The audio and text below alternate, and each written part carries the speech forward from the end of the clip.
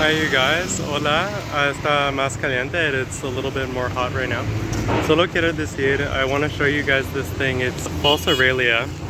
I made a video about this a couple of years ago I think, but it's such a dinky little plant when you grow it at home. And then when I come here, I didn't even know this could get this big. Like look at the stems. And I was talking to one of the locals and apparently this tree can grow upwards of 60 years. Like it's a really long-lived plant. Um, so that was one thing that I wanted to show you guys because that's just absolutely wild. You would never find that in Canada. Uh, they have philodendron UPI growing up here. It's attached to this huge bottle palm that I just wanted to show you guys. And there's a little bit more Ficus bengalensis over there. And even the pigeons are different here. Like it's insane. Like even the grass is different. I don't know if you can see, it's like a trailing creeping grass. But so yeah, this is just the big thing that I wanted to show you right now. I mean, this, you would never get an Aralia of this size in Canada unless you were like magic. So I just wanted to say that. And then I also wanted to go over here because I wanted to show you this cathedral. It's so pretty. This is El Catedral de San Hidalgo or El Catedral de la Mejorada.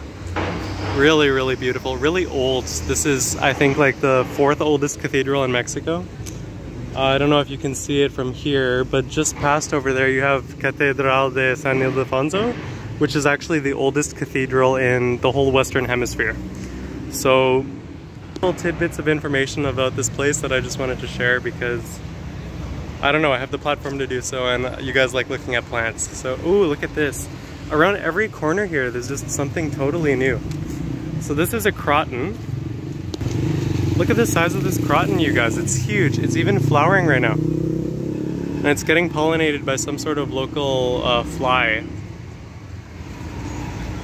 And as you can see, this is very, very well established. And the thing that really shocks me about Merida in particular is the soil that they're growing in. Like, don't get me wrong, there's really fertile soil around here, but the soil that these plants are growing in particularly is very poor. It's very sandy but they're doing well. There's some palms over there that are starting to seed.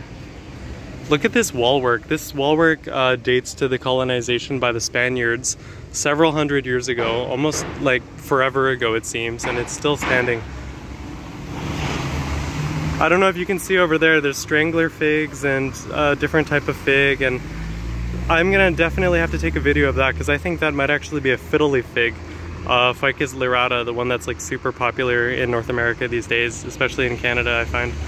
Um, America, like Mexico's not part of North America. Mexico's definitely part of North America. But yeah, I'm gonna stop rambling on now. I hope you guys have a beautiful day, stay blessed, and I'll try to keep these little random videos coming, okay? Stay blessed.